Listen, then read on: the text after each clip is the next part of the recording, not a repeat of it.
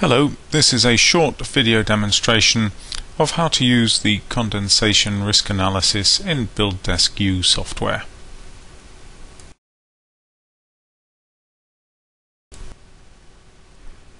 For this demonstration of condensation risk analysis, we're going to use a standard component.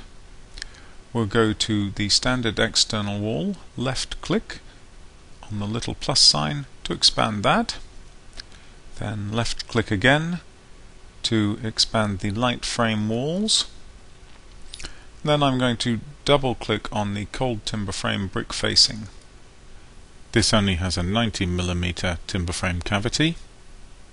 Now it's loaded, you can see that the U value is actually greater than that allowed by current building regulations in England and Wales, so this would not be acceptable in England and Wales. If we look at the condensation risk analysis here, we just click on this tab. It first asks us to choose a location. BuildDesk U needs climate data, which it keeps in a database internally. We now need to choose an area that's got similar climate to the one we're building in. Let's build a house near Leeds click on Leeds and it inputs the climate data. We need to put the internal climate, which you can do with a drop down here. We're going to stick with the default of dwellings with low occupancy. You could also override the data by clicking on this free input of environmental conditions and then entering the conditions you have, which you could do if you had better data than those in the database. So let's click OK and see what happens we now get a condensation risk analysis which shows the risk of condensation over the year. For this one there is nothing in the graph because there's no risk of surface humidity and there's no risk of interstitial condensation.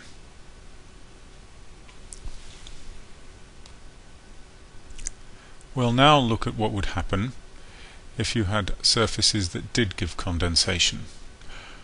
We'll go back to the U value calculation on the thermal transmittance, we're going to deactivate the polythene vapor barrier layer by left clicking on the tick here and go back to the condensation risk analysis. And now you see, although it still gets two green ticks, it's showing that there is a problem and that there could be condensation in some months. This shows you what happens month on month and the red areas show that there is condensation occurring from November through to April. The reason it gets green ticks is that there's enough evaporation over the summer that over the entire year the condensation does evaporate. You can also see that there are two interfaces here where the condensation forms. Let's have a bit more look at the results of this to get some more detail.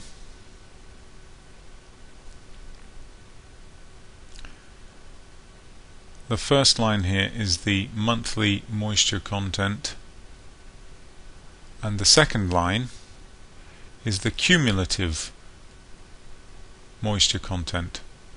So it starts accumulating in October and then each month adds on to the previous month so we get up to 3,787 grams per meter squared. It then starts to evaporate again and finally disappears in August and September.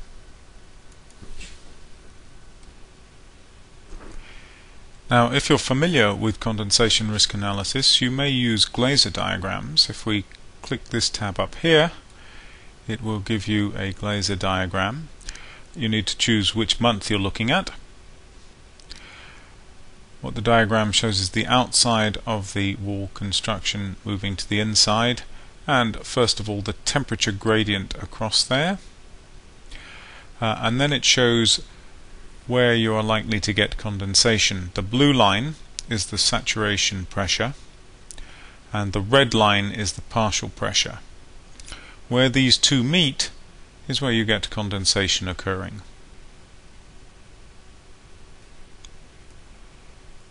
We'll now close that.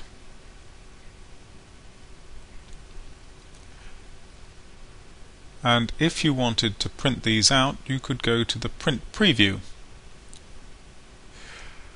This will give you choice of a number of reports that you can undertake. So if we wanted, for example, to show everything that we've seen now, we could include the vapor pressure distribution or Glaser diagrams. Uh, those will print out one per month though, so there's a lot of printing there. We're just going to choose two of these reports for now uh, to prove that this doesn't actually meet building regulations to our client, so we'll click OK. We now get a print preview window which can be changed in size so that you can read it better and you can scroll up and down to see what it says as well.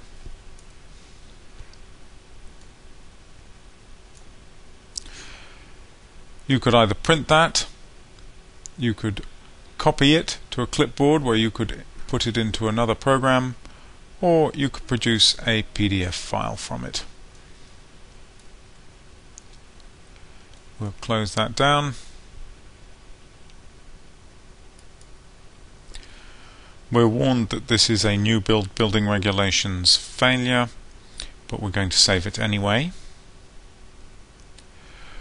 We can use the existing name, it will put it into our own catalogue rather than into the standard external walls.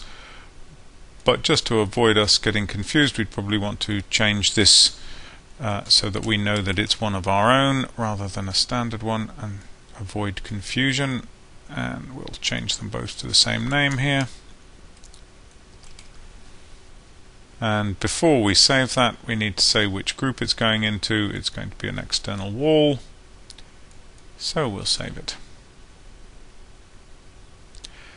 And that will now be available in our own catalogue if we wanted to produce a failing external cold timber frame brick facing wall. Thank you for your interest in BuildDesk U software. We hope you found this of use. For more information please visit our website at www.builddesk.co.uk.